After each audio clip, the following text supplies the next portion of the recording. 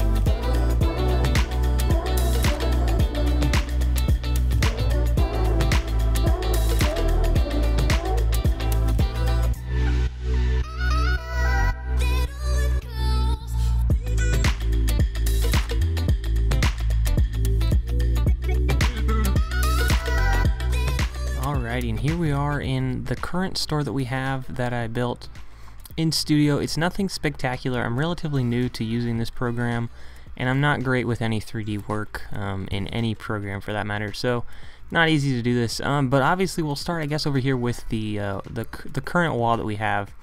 And like I said, I tried to do about six inches, but that didn't quite play through as well as I would have liked it to. Um, so over here, this is our uh, our big wall. I just made it out of the little one by one tiles and changed the colors. Um, the plan is, like I've said in other videos, is to have a small wall that comes out here and then continue around. It'll be kind of be like a horseshoe. You can go from left all the way around in kind of a circular pattern towards the right where you can pick orders. But at the moment, this is what we have. Over here, this is a small table where we keep all our small bags, and we also have those trays that sit over here. And then over here we have our um, whatever you call these. These are the bins. Some people call them shoe boxes. You can call them whatever you like on these shelves over here. Now, I think in every video you guys have seen these were shifted all the way over to the wall here. We have pushed them to the right if you're looking at them from this direction so that we can begin that expansion of the wall here. And then this is kind of our entrance to the, to the area over here now from the large garage door. Of course, we have our big uh, parting out tables in the middle. Those are just two folding tables right now. They have uh, little extensions on the legs so that they're taller, so they're at a height that we can stand up and part them out. Over here, these shelves are for um, sets that have not yet been parted out. So those are, you know, in this case, they're empty in this store. But I uh, there's some there's a 16 friend sets actually at the moment on there. And then over here we have the TV on the wall. This is our small shipping station here. Um, I didn't know how to. I guess I could have just done like a little one by two plate and a tile, I guess, to make the little shipping printer and stuff. But we have our envelopes down here on the shelf, and then uh, this is our shipping area, and this kind of our table has a microwave over here, and then we put the packages on here when they're ready to go to the post office. This is our desk here. We have um, monitor here for a computer that we use when we're printing out the shipping labels. Um, that goes to the little printer that's over here. And then uh, there are usually curtains that hang right here, so you can't actually see back here, but it is in a garage, so there is a water heater in the corner over here. There's a dryer here, and then there is a, um, a washing machine there. And this is actually a freezer. The lid would uh, kind of pop up like a um, almost like a car hood, I guess. And then uh, that is a large freezer there. And then this white thing here is actually a mattress that is against the wall. Um, you probably don't see it too much in the videos, or if you do, you don't know what it is. And then there's usually also bookcases over here, um, but those are not there right now, so they are not there here either. Um, but yeah, this is pretty much our uh, our basic um, the store we have now. Like I said, we, we plan to do that that wall here. Um, there is another door over here. This goes to the side of the house. There's a window over here, and then obviously uh, this is the large garage door over here. But overall, I mean, I think this is relatively close to scale. It's about 20 feet by 20 feet. Um, so in this case, I think I did six, uh, about six inches per stud and the interior being 20 feet by 20 feet is what 42 by it's 42 by 42 studs so that would make it just about 21 feet I guess technically or uh, was that 21 feet? yeah 21 feet I think so very close in terms of the size of this So next, uh, we'll we'll see a little time lapse of me building the um, the new store here. So this is more than double the size as the plan. And uh, go ahead and watch this, and I'll talk about it in just a second.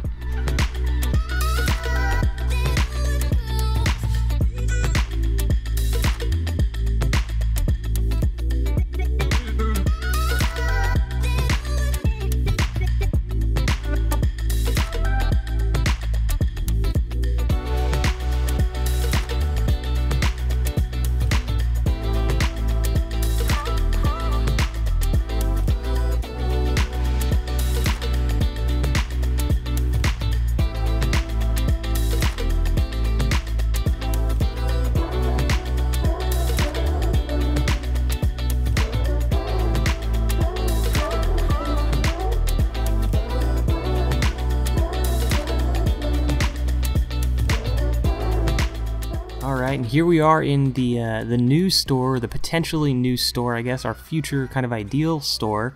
Um, and this is made up by two 48 by 48 base plates, which essentially would equal about, let's, uh, we'll say 20 by 40 feet. Now, if you saw in the time lapse, I did add some small 16 by 32 base plates down at the bottom, um, which would have made it 30 by 40 feet.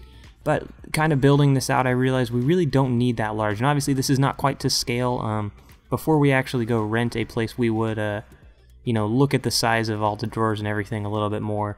But this is kind of how, you know, if we had a, a 20 by 40 foot space, this is kind of, I think, a decent layout. Um, but obviously, I haven't thought too much about this because we're not quite in the position where we're going to move or ready to move yet. Um, so I started out in the time lapse by making this little office over here. You know, this will just be for the uh, the stuff where we're just, you know, maybe, I don't know, whatever we're doing in an office there, whether it's finances or stuff like that, you know, just have some basic things in there. Maybe, maybe doesn't need to be this large, could probably be maybe three quarters the size. And then, you know, ideally there would be a window in there, but uh, who knows. And then once you exit this door out of the office, you enter into the parting out area, and these tables would actually be larger than the ones we have now. These would ideally be about, um, you know, maybe two 4 by 8 sheets of plywood, so it's about 8 feet by 8 feet. Um, hopefully we could build this as opposed to using folding tables. Um, and primarily I'd like to have it at standing height as uh, we have it right now in our store because it is nice to be able to stand out and part uh, sets out as opposed to sitting down and, and trying to lean over the table and trying to reach a drawer or different things like that. Um, of course, we brought the TV with us, so that's here on the wall. Um, and we use this when we're uh, adding pieces to the store if we're doing something on the table, we can use the TV over here, kind of a large monitor, or we can always watch Netflix and stuff like that uh, while we're parting things out.